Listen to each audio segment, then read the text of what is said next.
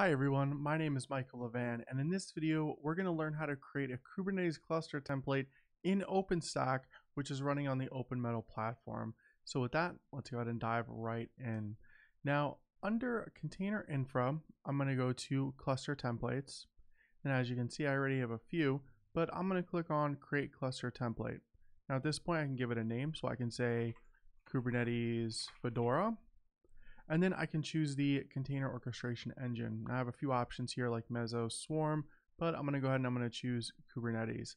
Now, another cool thing too is if you click this question mark, it's gonna tell you exactly what's going on with all of these different options. So for example, public means make cluster template public, enable registry, enable Docker registry, disabling TLS is for the cluster template. In this case, I'm just gonna go ahead and I'm gonna make the cluster template public. Next, I'm going to go ahead and I'm going to click next and I'm going to choose an image. So I have a few images here and what these mean is what my control plane and my worker nodes are going to be running on. I'll go ahead and I'll choose Fedora. Next, I'll choose my key pair. Now this key pair is an SSH key that can be uploaded to OpenStack and then you can, you know, use it inside of your cluster to be able to access your clusters. Next, I'm going to choose the flavor of the node. So this is going to be for my worker nodes. Now I'm going to go ahead and I'm going to choose a CC large. And then the flavor for my control plane, I can go a little bit smaller because the worker nodes are, you know, where your pods are running. So that definitely needs a lot more resources. So I'm going to go ahead and I'm going to choose C1 medium. And then I have a volume driver of Cinder that I can choose from. And then the Docker storage driver, which is going to be overlay. And then I can choose the size that I want for the Docker volumes.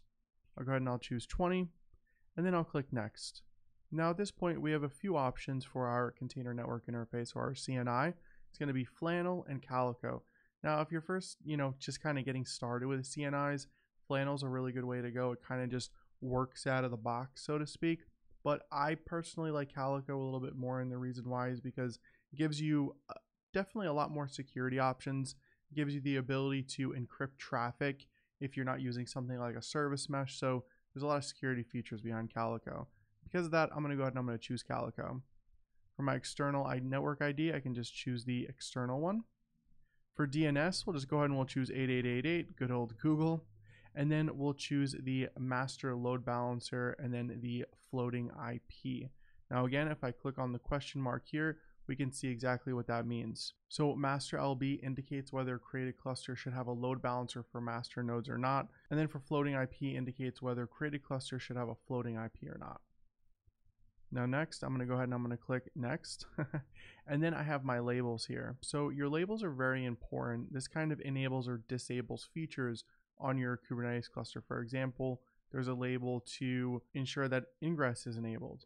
There's a label to ensure that you're specifying a specific Kubernetes API version. So I'm going to go ahead and I'm going to paste a few labels in here. And these labels are going to be for the cloud provider if that's enabled, the ingress controller to be enabled, the master LB floating IP to be enabled, and then the kube dashboard to be disabled. Now again, if I go ahead and I click on this question mark, we can see that it's supposed to be specifically in key value pairs. So I'm going to go ahead and close out of that, and then I'm going to click submit. Now at this point, we can see that our cluster template was officially created. So if I go ahead and I take a look at this, I can click on it and then I can see everything that encompasses this cluster template. And that's how you can create a cluster template for the Kubernetes orchestration engine. Thank you so much for watching.